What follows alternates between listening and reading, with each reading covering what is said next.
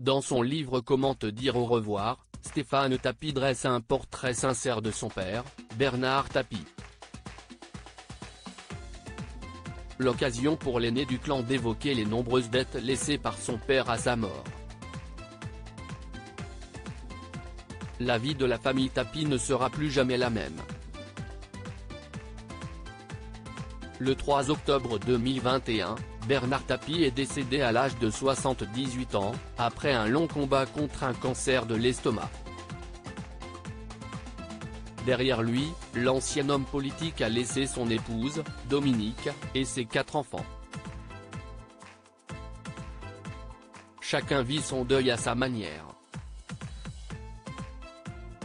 Et c'est par le biais de l'écriture que son fils aîné, Stéphane Tapie, a décidé de mettre des mots sur sa douleur.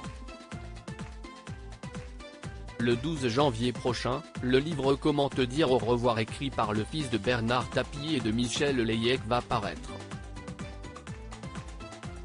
Conscient de ne pas être le fils préféré de son père, le chroniqueur raconte dans son ouvrage les derniers instants de Bernard Tapie, comme l'a rapporté Gala.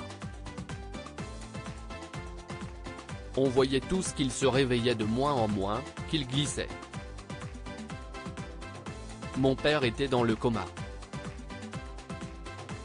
Il est mort le 3 octobre 2021, au matin, entouré de tous les siens. C'est ce qu'il souhaitait, il ne voulait surtout pas mourir sur un lit d'hôpital et je pense qu'il a eu la plus belle des morts. J'ai vu que la vie était partie à son souffle qui s'est arrêté, à son visage qui s'est apaisé. Pour mon père, la mort a été un soulagement, une libération.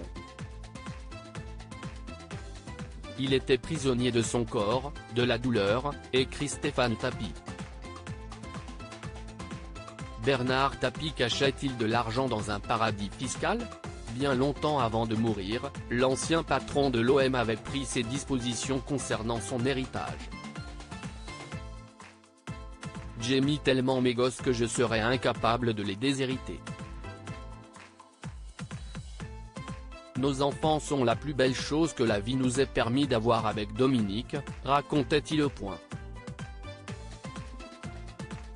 Pourtant, Bernard Tapie n'a laissé à ses héritiers que des dettes. Plus de 400 millions à rembourser, c'est une somme, affirme Stéphane Tapie, qui a décidé de mettre un terme à une rumeur persistante. Beaucoup d'ailleurs restent persuadés qu'il a planqué de l'argent dans un paradis fiscal. Je vais les décevoir, il n'a rien planqué du tout. Pour la simple et bonne raison, Tapi était convaincu qu'il allait guérir. Tapi n'était pas dans la transmission, il n'était pas un bâtisseur d'empire comme l'ont été Marcel Dassault ou Marcel Boussac, tranche le frère aîné de Sophie Tapi. D'ailleurs, Stéphane Tapie affirme se moquer complètement de n'avoir hérité de rien.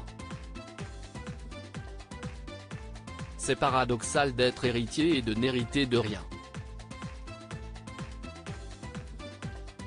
Point, je n'ai jamais été attaché aux biens matériels, je ne suis pas intéressé et ça vaut mieux, a-t-il affirmé.